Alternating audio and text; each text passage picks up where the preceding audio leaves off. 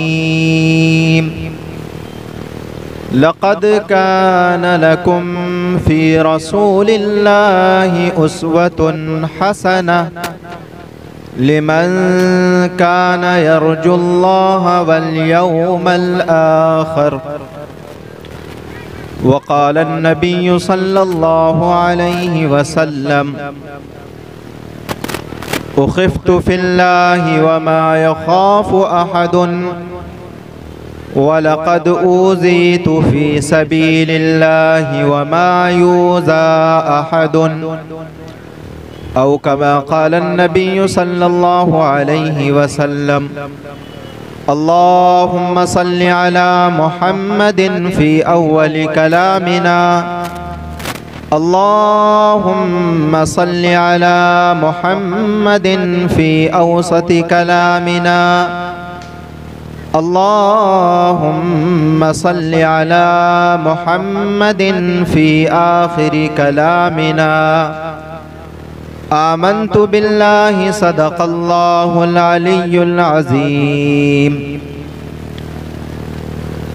लौह भी तू कलम भी तू तेरा वजूद अलकिताब लौह भी तू कलम भी तू तेरा वजूद अलकिताब।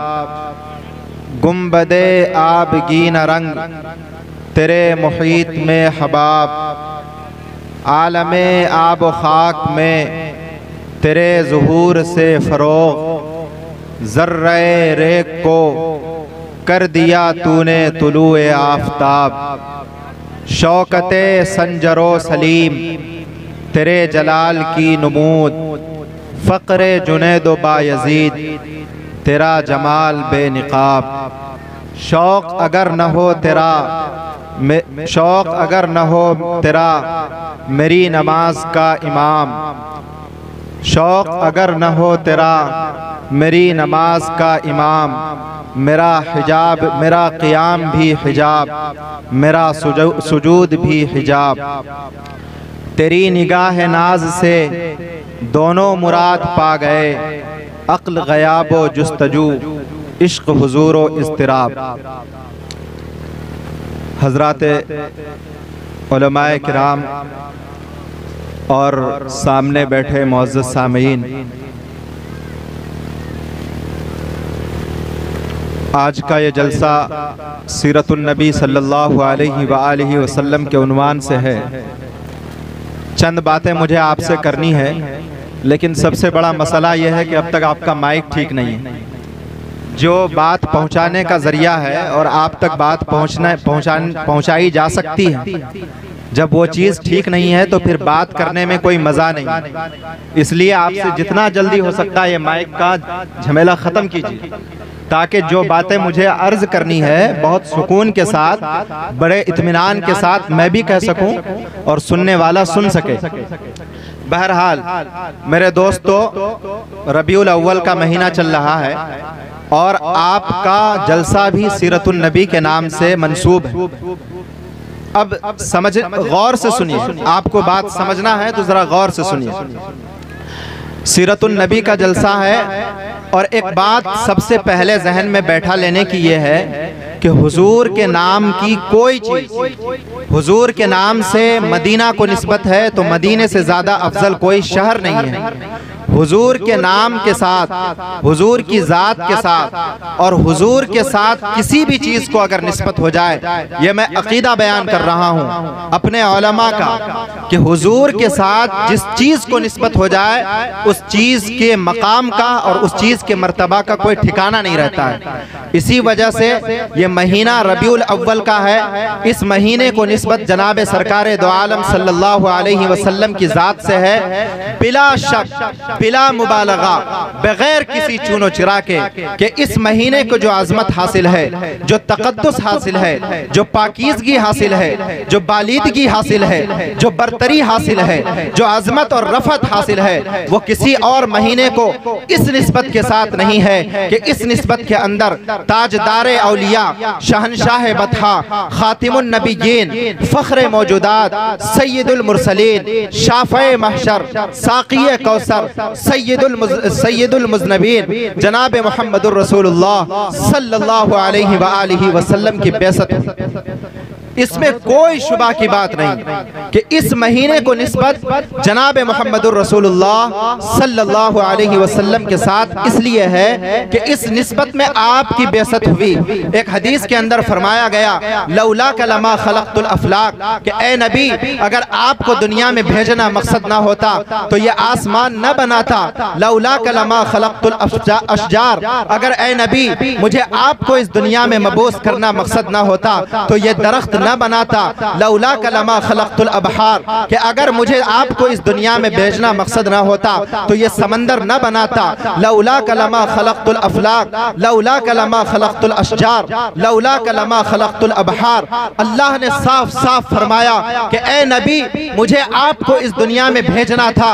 हमने इसके खातिर ये पूरे कायनात को सजाया, इंसान को बसाया, अशजार को बसाया, समंदर चलाए, आसमान को नीलगू बनाया ज़मीन की तहत सजा, सजाई और फिर इसके बाद मुझे सिर्फ़ और सिर्फ़ इस दुनिया के अंदर आपको भेजना था आपकी जात को तारुफ का तारुफ कराना था आपकी जात की नबूवत का डंका बजवाना था आपकी नबूवत को आपकी सदाकत को आपकी अमानत को आपकी दयानत को आपके तकदस को आपकी तमाम तर खूबियों को इस उम्मत के सामने लाना था इस दुनिया के सामने लाना था इसलिए हमने आपकी बेसत से पहले इस दुनिया को सजाया।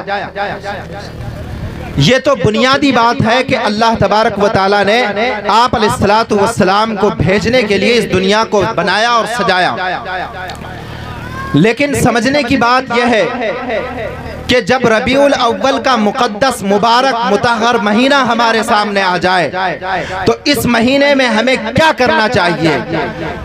क्या इस महीने को हम यूँ ही बिदात और खुराफात, रस्म रिवाज और वाहियात और तबाहियात के नज़र कर दें? या फिर इस महीने की मुकद्दस और इस महीने की बरकत से हमें कुछ फ़ायदा हासिल करना चाहिए? इश्क रसूल का दावा करना बहुत आसान है और ज़ुबान से बोलना उससे ज़्यादा आसान है। और भला हो चाइना वालों का, जिसने कुमकुमे ईजाद किए, जिसने जलने और बुझने वाली लाइटें ईजाद की, कि साल में एक बार लाइट लगा दो रोड सजा दो और डीजे बजा दो और कह दो कि हम सबसे बड़े आशिक हैं। ये आशिकी का दावा बेकार है बेबुनियाद है। इसका कोई मतलब नहीं इसका कोई हासिल नहीं।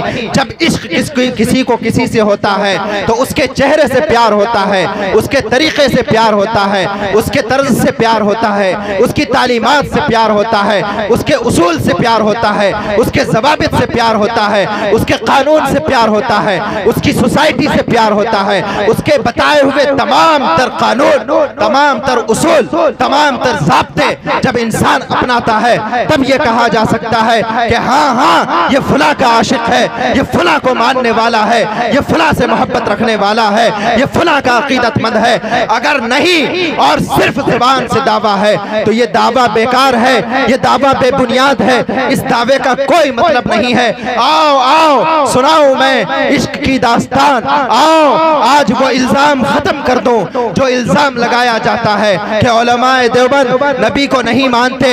आओ सुनाता हूँ सरखेल देवबंद। हज़रत नानोतवी रहमतुल्लाह अलैह की वो कहानी वो किस्सा जो हज़रत नानोतवी की किताबों के अंदर मरकूम है। लिखा हुआ है। लिखा कि बहुत जमा, एक जमाना पहले हज़रत नानोतवी रहमतुल्लाह अलैह को किसी ने सब्ज रंग की जूती ला कर दी और कहा कि हज़रत आप जूती पहना कीजिए। आप इतने बड़े आलिम हैं। आपने मुझे जंग आज़ादी में हिस्सा लिया। अठारह सौ सत्तावन के गद्र की लड़ाई लड़ी। आप तो इतने बड़े आलिम हैं। और अफसोस के साथ ये कहना पड़ता है कि मुसलमान कौम को ये भी मालूम नहीं है कि किस किस अकाबिर ने और किन किन मुसलमानों ने जंग आज़ादी में हिस्सा ली। ये एक अलग दास्तान है।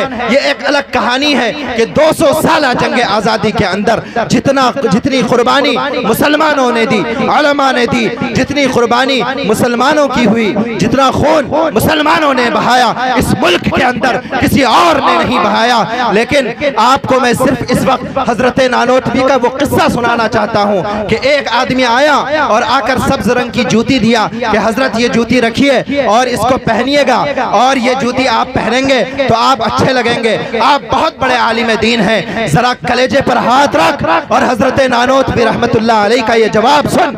हज़रत नानोतवी ने क्या फरमाया कि लाओ, जूता उठाया, आँखों से लगाया और चूमा और सर पर रखा और कहा कि इस जूते की जगह पैर नहीं, सर है। क्यों? इसलिए कि इसका रंग सब्ज है और मेरे नबी के गुंबद का रंग भी सब्ज है। ये इश्क है। और सुनाऊं दास्तान इश्क। आओ, सुनाता हूँ। हज़रत नानोत फिर रहमतुल्लाह अलैह एक मरतबा हरम गए। बहुत नाजुक तबीयत आदमी थे। बहुत नाजुक तबीयत आदमी थे। और हरम की गलियों के अंदर खाली पैर चलने लगे। जब खाली पैर चलने लगे तो पैर के अंदर छाले आ गए। खून रसने लगा। किसी ने कहा कि हज़रत, आपके पास जूते चप्पल नहीं है। मैं आपको दे देता हूँ। आप पहन लीजिए। हज़रत नानोतवी अलैह का जवाब, सुनना। और जरा इल्ज़ाम लगाने से डरना। हज़रत नानोतवी ने क्या फरमाया? हज़रत नानोतवी रहमत ने फरमाया कि नहीं नहीं ये हरम की मुकदस गली है। पता नहीं यहाँ कहाँ पर मेरे नबी ने अपने मुबारक पाँव रखे हैं। वहाँ ना, वहाँ नानोतवी अपना पैर रखे। कभी ऐसा नहीं हो सकता। ये हज़रत नानोतवी रहमतुल्लाह अलैह का इश्क था। ये हज़रत नानोतवी अलैह का जुनून था। ये हज़रत नानोतवी अलैह ने अपने नबी से इश्क और अकीदत ज़ाहिर किया। और क्या सुनाऊं दास्तां? हज़रत नानोतवी अलैह का, जब अठारह सत्तावन के बाद आपके खिलाफ वारंट जारी हुआ, आप तीन दिन के लिए मस्जिद छत्ता में छुप गए। तीन दिन के बाद आप बाहर निकल गए। जब आप बाहर निकल गए तो खुदाम ने, लोगों ने कहा कि हज़रत, आपके खिलाफ तो वारंट जारी है। आप कैसे बाहर निकल गए हैं? हज़रत नानोत भी रहमत ने फरमाया कि मेरे, मेरा नबी गारे सौर के अंदर तीन दिन छुपा था, फिर बाहर आ गया था। आज मैं भी मस्जिद छत्ता से तीन दिन के बाद बाहर आ चुका हूँ, ताकि कोई ये न कहे कि नबी का आशिक होकर अंग्रेज़ से डर गया, मैं सुन्नत अदा कर दिया, तीन दिन छुप करके। अब मैं बाहर आ गया हूँ, जिसका चाहे मुझे आकर, जिसका दिल चाहे मुझे आकर कर पकड़ ले। आज इश्क के नाम पर कौन कौन सी बेहयाई नहीं हो रही है? अल्लाह रब्बुल इज़्ज़त की कसम, अपने आँखों से मैंने देखा है। डीजे बज रहा है। हुजूर के नाम का बैनर लगा है। बैनर पर कलम तय्यबा लिखा है। और एक शख्स की जूती मोहम्मद वसल्लम के इसमें मुबारक से लग रहा है। अरे कहाँ गई गैरत? कहाँ गई हया? कहाँ गई शर्म? उस नबी के नाम का जिसके नाम पर खाते हो, पीते हो, इश्क का ढोंग रचाते हो। अबे हया नहीं आती कि उस नबी के नाम का बैनर लगा है और तुम्हें इस बात का एहसास नहीं है कि उस नबी के नाम के साथ तुम्हारे पैर की जूती जाकर लग रही है। इससे बड़ी गुस्ताखी, इससे बड़ी बेहयाई, इससे बड़ी गद्दारी और जनाब मोहम्मद रसूलुल्लाह सल्लल्लाहु अलैहि वसल्लम के साथ क्या हो सकता खुदा की कसम, इससे बड़ी बेइज्जती और गुस्ताखी कुछ नहीं है कि आपका इसमें मुबारक है और उसके साथ किसी का जूता लगे, किसी का पैर लगे, किसी का पुष्ट उसके तरफ़ हो। नहीं नहीं, ये इश्क के नाम पर ढोंग है, ये इश्क के नाम पर गद्दारी है, ये इश्क के नाम पर चालबाजी है, ये अंग्रेज़ों का दिया हुआ तरीका है, ये मेरे नबी का तरीका नहीं है। हुजूर का जश्न मनाना ही है। तो हुजूर का जश्न अबू बकर, अब हज़रत अबू बकर मनाते, हज़रत उमर बनाते, खुद जनाब मोहम्मद वसल्लम मनाते। मौरखीन का इस बात पर इत्तिफाक है कि पीर के दिन, यानी सोम के दिन हुजूर सल्लल्लाहु अलैहि वसल्लम पैदा हुए। इस बात पर तो इख्तलाफ है कि आप बारह रबी अव्वल को पैदा हुए, या छह रबी अव्वल को पैदा हुए, या नौ रबी अव्वल को पैदा हुए, या आठ रबी अव्वल को पैदा हुए। इस बात समझ में आ रही है आप लोग? हाँ बात समझ में आ रही? तो ही करूँगा, नहीं तो बस बात खत्म। इस बात पर इख्तलाफ है कि आप कौन सी तारीख में पैदा हुए? लेकिन इस पर सबका इतफाक है कि आप पीर के दिन पैदा हुए, सोम के दिन। खुद हुजूर का मामूल उठाकर देखिए कि हुजूर क्या करते थे सोम के दिन, पीर के दिन। हदीस के अंदर आता है कि सोम के दिन, यानी पीर के दिन, हुजूर सल्लल्लाहु अलैहि वसल्लम रोजा रखते थे। अब समझिए जरा बात को गौर से। रोजा और ईद, दो चीज़ बिल्कुल अलग अलग है। इसलिए कुर्बानी के दिन रोजा रखना हराम है, बोलिए। रोजा रखना कुर्बानी के तीन दिन हराम है, ईद के दिन हराम है। क्यों? अल्लाह के तरफ़ से मेजबानी का दिन है और रोजा खाने पीने से मना का दिन है और ईद और खुशी का दिन खाने पीने का दिन है। खुद हुजूर अपने पैदाइश के दिन रोजा रख रहे हैं और आप ये क्या दर्श दे रहे हैं कि हुजूर की पैदाइश के दिन ईद मना रहे हैं। ये कितना डिफरेंस है कितनी अलग चीज़ें हैं। हुजूर का खुद अमल देखिए। अरे हुजूर के नाम पर और हुजूर की विलादत पर अगर आपको खुशी है तो खुशी मनाइए, लेकिन हुजूर के तरीके पर मनाइए। और आइए, कम अज कम पूरा साल नहीं तो रबीउल अव्वल के उन तमाम पीर के दिन आप रोजा रखिए। ये हिम्मत कभी नहीं कर सकते। लेकिन जश्न मनाने में नाचने में कूदने में उछलने में मज़ा आता। है इसलिए ये काम ज़रूर करेंगे। लेकिन रोजा रखने में पेट भूखा रहेगा ना। नमाज़ पढ़ने में वक्त जाया लग रहा है ना। इसलिए यहाँ नहीं आएँगे। आएँगे कहाँ? जहाँ नाचना होगा जहाँ ठिरकना होगा जहाँ नबी का नाम भी लेंगे और बेहरमती भी करेंगे। इसलिए मेरे दोस्तों होश के नाखुन लीजिए। दीन कहाँ मिल रहा है? शरीयत कहाँ पर है? वहाँ पर जाइए। हर जगह होलसेल के हिसाब से मत चले जाया कीजिए। दीन समझने की चीज़ है इतना आसान नहीं है। दीन अगर इतना आसान होता तो ताइफ की गलियों में हुजूर को पत्थर न लगते मक्के से न निकाला जाता अपने रिश्तेदार को न छोड़ते शेब अभी तालिब में बंद न किया जाता। दीन बहुत मुश्किल चीज़ है बहुत दुश्वारी के साथ साथ आता है, इसको संभाल कर, इसको अजमत के साथ तकदस के साथ, हिफाजत के साथ, एहतराम के साथ खुश दिली के साथ, बड़ी पाकिजगी के साथ अपने दिल पर समो कर रखने की चीज़ है। ये ये नहीं कि जरा सी बेहतनाई बरत कर कोई दीन पालेगा, ऐसा कभी नहीं हो सकता है। और एक मर्ज और चला है, वो भी मर्ज बयान करता चलो। दो चार सतर उर्दू की पढ़ लेते हैं और मौली साहब से बड़े मौली साहब बन जाते हैं। आपको दीन की नज़ाकत का मालूम नहीं है। शरीयत की नज़ाकत का मालूम नहीं है। ये पुरखतर रास्ता है। यहाँ बहुत संभल के चलने की ज़रूरत है। आपने उर्दू के किताब से दीन पढ़ लिया। ये दीन पढ़िए बहुत अच्छी चीज़ है। लेकिन समझिए ओलमा से। अल हदीस पाक में फरमाया अम्बिया हुजूर ने फरमाया किसी ऐरू गैरू का कौल नहीं है। हुजूर ने फरमाया कि ओलमा नबियों के वारिस वारिस किस चीज़ के हैं? नबी का नबी की विरासत क्या है? ये दीन है। तो पता ये चलता है कि किराम दीन के वारिस हैं। एक बात और बताता हूँ। वारिस को यूँ समझिए कि दीन के चौकीदार पहरेदार हैं। और चौकीदार से और पहरेदार से नफरत चोर को होती है। मुखलिस आदमी को नहीं होती है। इसलिए जो लोग ये नेगेटिविटी फैला रहे हैं कि उलमा कराम ऐसे हैं, वैसे हैं, फला है, तस्का है। खुदा की कसम, याद रखिए, जब जब उलमा कराम से बगावत उठेगी, आप याद रखिए, उसका दीन खतरे में पड़ेगा।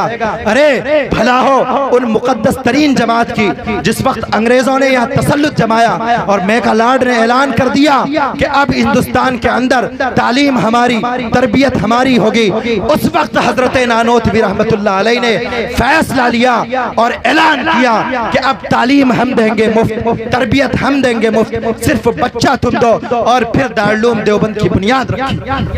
उसका सदका है, उसका तुफैल है कि आज दिन बाकी है।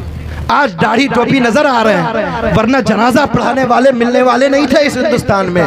वरना बच्चों के कान में अजान देने वाले, मिलने वाले नहीं थे। आपने बहुत, एक शायर ने कहा कि अजबत कौम मुसलमान, तुमने पहचानी नहीं। दोनों आलम की हकीकत क्या है तुमने जानी नहीं। तेरे बच्चे हैं कुफर से इस कदर हल्का बगोश। देख कर तुम कोरे मुस्लिम, क्या कोई हैरानी नहीं। खुदा की कसम, आज इतना पुरफितन दौर है कि आपको पता भी नहीं चलने वाला कि आपके हाथ से ईमान कब जा चुका और कब आप मुर्तद हो चुके। आपको इस बात का एहसास भी नहीं हो सकता। आप अपना रिश्ता जो लोग भी ये कह रहे हैं कि ओलमा ऐसे हैं, वैसे हैं, और हर जगह बैठकर ओलमा की बदनामी कर रहे हैं। मैं साफ़ साफ़ कहता हूँ, बगैर किसी खौफ खतर के, बगैर किसी लानत और मलामत के, चंद सतर उर्दू की पढ़कर कोई आलिम दीन नहीं हो सकता। बहुत रगड़ना पड़ता है, बहुत घिसना पड़ता है, बहुत खपाना पड़ता है। तब जाकर दीन की रमक, दीन के जवाब दीन के उसूल, दीन की वो बिना बातें समझ में आती है। ऐसे इतनी आसानी से समझ में आने वाली नहीं है। इसलिए अपना रिश्ता खुदा के वास्ते अपने के साथ ज़रूर मज़बूत रखिए। बहरहाल, ये जिमनी बात थी। असल बात मुझे आपसे जो करनी है, वो यही है कि दावे इश्क रसूल बहुत आसान है। उससे ज़्यादा आसान इस दौर में कोई काम नहीं है। आप कहिए कि हम आशिक रसूल हैं। बहुत अच्छी बात है। पूछिए साहब दाढ़ी। अरे, वो तो अंग्रेज़ इकबाल ने कहा ना वजह में तुम हो नसारा तो तमद्दुन में हनूद। यह मुसलमान, जिन्हें देखें तो शर्माए यहूद। ये क्या सिस्टम है भाई? ये क्या तरीका है? ये कौन सी तहजीब है? ये कौन सा तमद्दुन है? ये कौन सा कल्चर है? खाते नबी के नाम पर, पीते नबी के नाम पर, उठते नबी के नाम पर नाम अब्दुल्ला, अब्दुल मुत्तलिब, अबू बकर, उमर और दाढ़ी फुला के तरह, कपड़ा फुला के तरह। ये क्या चीज़ है? ये सरासर बेहयाई और बेगैरती और अपने नबी के साथ गद्दारी। इस महीने के अंदर इतना तो आज़म कीजिए कि नहीं नहीं, जितने पिछले जो दिन गुजरने थे, गुजर गए, अब हम खुदा के वास्ते अपने आप को नबी के तरीके पर डालेंगे। अल्लाह ने क्या फरमाया? और रसूल। अल्लाह की इतात रसूल की इतात है। अल्लाह की फरमा बरदारी रसूल की फरमा बरदारी है। और अल्लाह की फरमा बरदारी रसूल के बताए हुए तरीके के मुताबिक है तो फरमा बरदारी है। और अगर अगर रसूल के जबते और तरीके के मुताबिक नहीं है तो वो फरमा बरदारी वो कोई फरमा बरदारी नहीं है। एक वाक्य सुनाओ, एक वाक्य सुनाता हूँ छोटा सा। कोई किसी पर हम भी गुनहगार हैं, आप भी गुनहगार हैं। ये नबी की मजलिस इसलिए सजी है कि हमारी भी आखिरत सुधर जाए और आपकी भी आखिरत सुधर जाए। इसके अलावा और कुछ नहीं, सब गुनहगार हैं। आज हम सब मुजाकरे के लिए यहाँ खड़े हुए हैं। जरा भाइयों, गौर से सुनना। एक हिंदुस्तान का शायर शायर गुजरा है, मिर्ज़ा कतील बेदिल, बहुत मशहूर शायर गुजरा है। उसकी ज़िंदगी के हालात में लिखा है कि मिर्ज़ा कतील बेदिल जो शायरी करता था, बहुत अच्छी शायरी करता था। उसकी शायरी सुनकर के ईरान का एक आदमी बहुत इम्प्रेस हुआ और बहुत मुतासर हुआ और वो ईरान से चल कर के आया मिर्ज़ा कतील बेदिल से मुलाकात करने के लिए हिंदुस्तान, के जाकर के मिर्ज़ा कतील से मुलाकात करेंगे, बहुत मशहूर शायर है। जब यहाँ आया तो आते वक्त, जिस वक्त वो आया और मुलाकात का पहली मुलाकात थी, उस वक्त मिर्ज़ा कतील बेदिल अपनी दाढ़ी बिगाड़ रहे थे। मैं ये नहीं कहता दाढ़ी बना रहे थे। मैं कहता हूँ दाढ़ी बिगाड़ रहे थे। क्यों? दाढ़ी बनाना है, दाढ़ी रखना। दाढ़ी बिगाड़ना है, दाढ़ी कटाना। समझ रहे ये उल्टा, उल्टी चाल चल गई हमारे यहाँ। लोग कहते हैं, दाढ़ी बनाने जा रहे हैं। बनी हुई सड़क कोई तोड़े तो उसको क्या कहेंगे? सड़क बिगाड़ रहा है। और कोई सड़क बिगड़ी हुई सड़क बनाए तो उसको कहेंगे कि ये बना रहा तो भाई, दाढ़ी अल्लाह की तरफ़ से बनी हुई है ना? तो दाढ़ी रखो। नाक अल्लाह ने दी है। नाक कटवा दो। ऐसा नहीं करोगे ना? तो मिर्ज़ा कतील बेदिल मशहूर जो शायर था हिंदुस्तान का ईरान से एक आदमी उससे मुलाकात करने के लिए आया। जब वो मुलाकात करने के लिए आया तो आने के बाद देखा कि मिर्ज़ा कतील बेदिल अपनी दाढ़ी बिगाड़ रहा तो कहा फारसी के अंदर कहा कि आगा रीश मी तराशी। यानी कि आका आप इतने बड़े शायर होकर के दाढ़ी कटा रहे हैं। तो मिर्ज़ा कतील बेदिल ने कहा कि भले रीशमी तराशम वो लेकिन दिले कस नमी खराशम। कि हाँ हाँ मैं दाढ़ी तो कटवा रहा हूँ लेकिन किसी का दिल नहीं तोड़ता हूँ। उस पर जो ईरान से आदमी आया था उसने बड़ी अच्छी बात कही। उसने कही कि भले दिले कस नमी खराशन खराशी वो लेकिन दिले हुजूर तू खराशी। कि बात तो आप ये सही कह रहे हैं कि अपनी बात से किसी को तकलीफ़ नहीं पहुंचाते हैं किसी का दिल नहीं दुखाते हैं। लेकिन ये दाढ़ी कटवाकर हुजूर को ज़रूर ज़रूर तकलीफ़ पहुँचा रहे हैं। अब आप जरा गौर कीजिए सुबह से लेके शाम तक और शाम से लेके सुबह तक हमारा कौन सा ऐसा अमल है जिससे हुजूर को खुशी हो जाए? कोई अमल है? कोई अमल ना आपके पास है, ना मेरे पास है। जैसे आप, वैसे हम हैं। कोई भी अमल ऐसा नहीं है। सुबह से लेकर, सुबह कभी हम सवेरे नहीं उठते।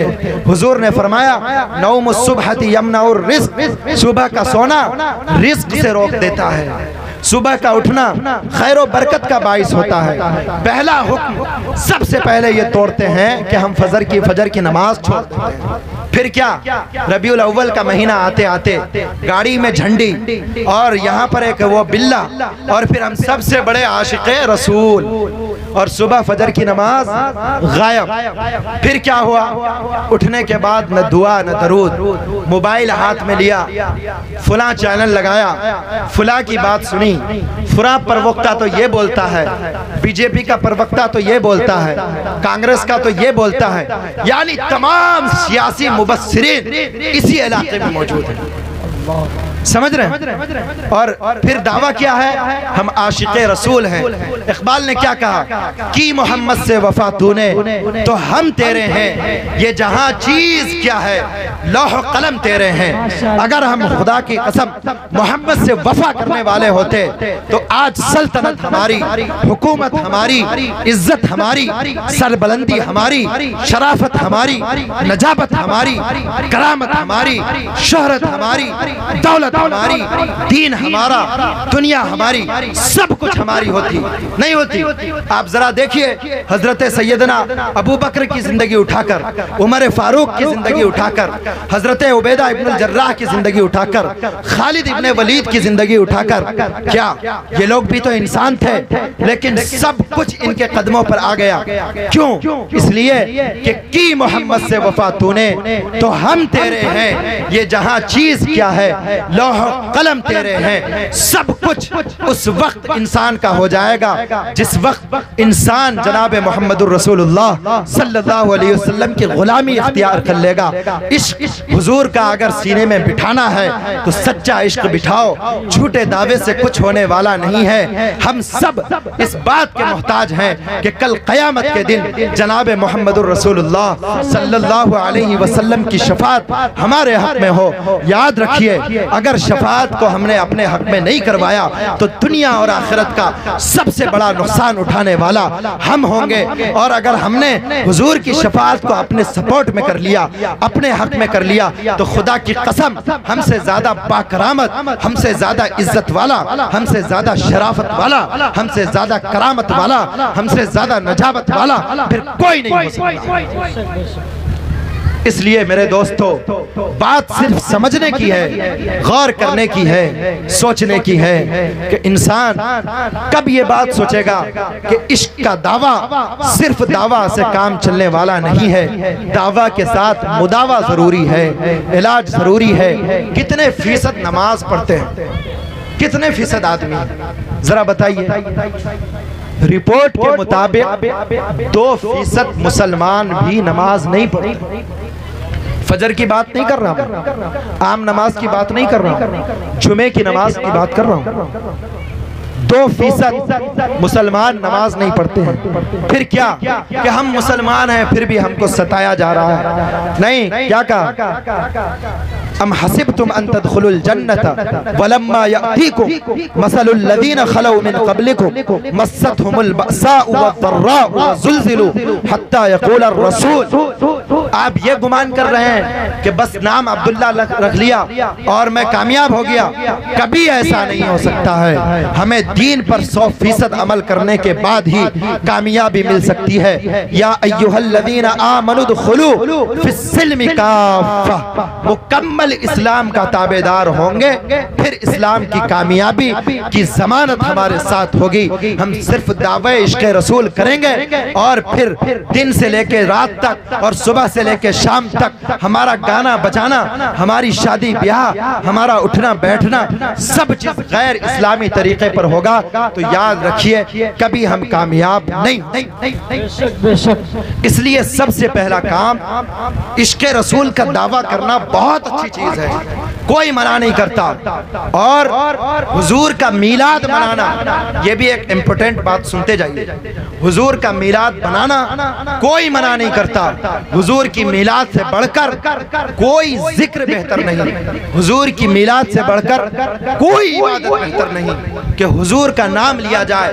अरे, हुजूर का जो नाम लिया जाए, वो मुँह मुबारक है, वो ज़ुबान मुबारक है। उस मुँह को चूम लेना चाहिए, उस ज़ुबान को चूम लेना चाहिए। लेकिन दीन के नाम पर धोखा ये सरासर गलत है। ये सरासर गलत है। खुदा की कसम ये इतना गलत है कि इससे जितनी बेदीनी फैल रही है किसी और रास्ते से नहीं फैल अब तो मैंने बाज जगहों पर देखा कि मीलाद के नाम का जश्न और औरतों की भीड़। मीलाद के नाम का जश्न मस्जिद में अजान हो रही है और इधर निगाड़े चल रहे हैं। मीलाद के नाम का जश्न और बड़े बड़े लोग नमाज़ छोड़ करके खड़े ला हौला वला कुव्वत इल्ला बिल्लाह। ए भाई ये कौन सा दीन है? ये कोई दीन नहीं ये दीन के नाम पर धोखा है। और ये धोखा दिया जा रहा है कि देवबंदी नबी को नहीं मानते।